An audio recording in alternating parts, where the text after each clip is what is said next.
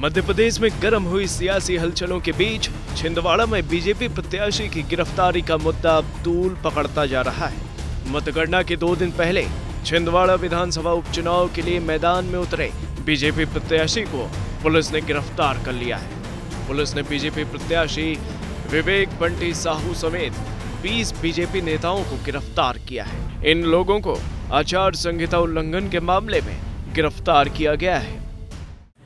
ये तीस अप्रैल की घटना है। तीस अप्रैल को छिंदवाड़ा विधानसभा के भाजपा प्रत्याशी बंटी साहू और उनके 50-60 समर्थकों द्वारा थाने का घेराव किया गया था और जो प्रदर्शन किया गया था, चूँकि उस समय आचार संहिता लागू थी तो उस समय इनकी आचार संहिता के उल्लंघन में और थाने पर जो घेराव किया था, उन पर विभिन्न धाराओं में इनके खिलाफ प्रकरण दर्ज किया गया था।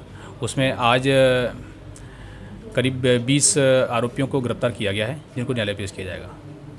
सर ये जो चालीस घंटे पहले कार्रवाई हुई है काउंटिंग की तो इसको क्या दोषपूर्ण माना जा रहा भाजपा खुद बोल रही है। नहीं ये देशपूर्ण कार्रवाई नहीं है ये रूटीन में जो कार्रवाई है जब आरोपी हमको मिले उस समय हमने गिरफ़्तार किया इसका काउंटिंग से या किसी समय से कोई लेना देना नहीं है। लेकिन मतगणना से पहले कहीं ना कहीं तो सवाल उठता है।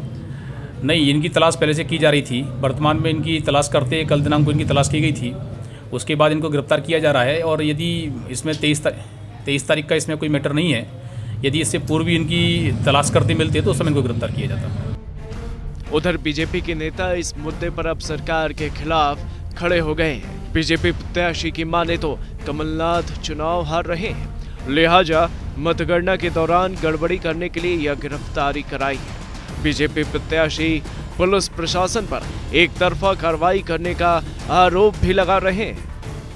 आगामी तेईस तारीख को मतगणना है और यहाँ से छिंदवाड़ा के प्रत्याशी प्रदेश के मुख्यमंत्री चुनाव हारने जा रहे हैं। उनके बेटे नकुलनाथ भी चुनाव हारने जा रहे हैं। इससे बौखला करके कि मतगणना में अव्यवस्था फैला करके वो चुनाव जीते, इससे प्रेरित होकर के छिंदवाड़े की पुलिस, प्रशासन, जो हमारे मतगणना है, मतगणना एजेंट है, मैं प्रत्याशी, मेरे